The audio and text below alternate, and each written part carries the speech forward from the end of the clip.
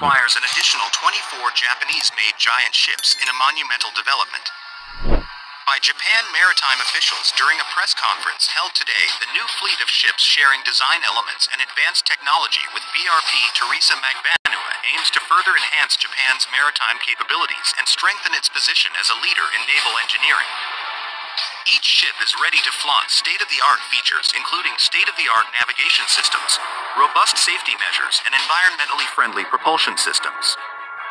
The BRP Teresa Magbanua, which received international acclaim for its services, its impressive combination of power and efficiency has become the benchmark for modern Navy ships inspired by its success.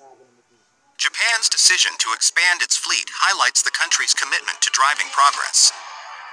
The limits of my maritime innovation, the Japanese minister considers this significant step a testament to Japan's dedication to fostering international partnerships through technological collaboration.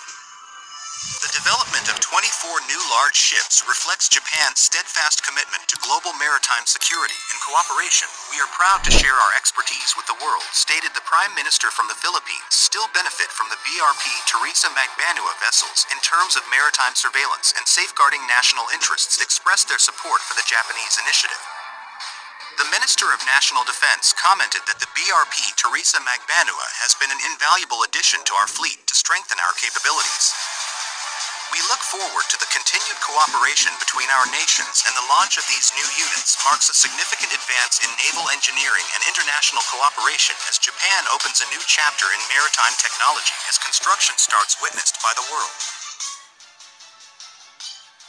With anticipation to witness the evolution of these ships, which promises to redefine maritime norms and set new standards for large ships.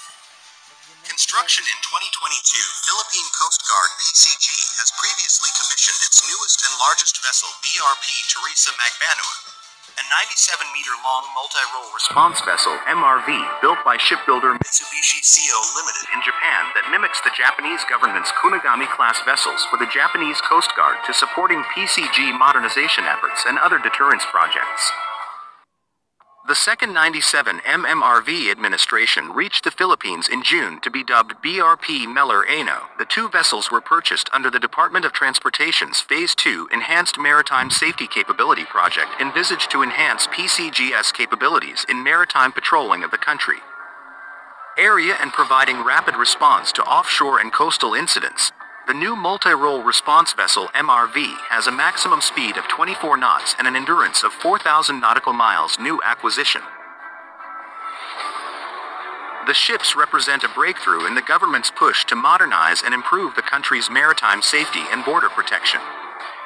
Maritime Safety Capability Improvement Project Phase 2 MSCI Phase 2 is a Japanese aid project funded by Official Development Assistance ODA loan from Japan International Cooperation Agency JICA amounting to approximately 16B 455 million Japanese 16 yen. 5 billion Japanese yen contract between DU and Limited Mitsubishi Shipbuilding Code for design, construction, and delivery of 297 MMRV of 14B 550 million Japanese 14.6 billion yen Japanese yen signed on December 27, 2019 and effective May 8, 2020. Philippine Secretary of Transport Jaime J. Bautista sworn in January 12, 202-3 Continuous Comprehensive Modernization of Assets and Manpower PCG Secretary of the Philippine Coast Guard Bautista said Department of Transportation will do. Encouraging the acquisition of PCGS assets and equipment as well as the inclusion of its officers in world-class education programs, added the head of transportation. He envisions world-class male and female PCGs who can work like lifeguards in other developed countries. The personnel pool of the Coast Guard has grown exponentially from just about 7,000 a few years ago to more than 26,000 today.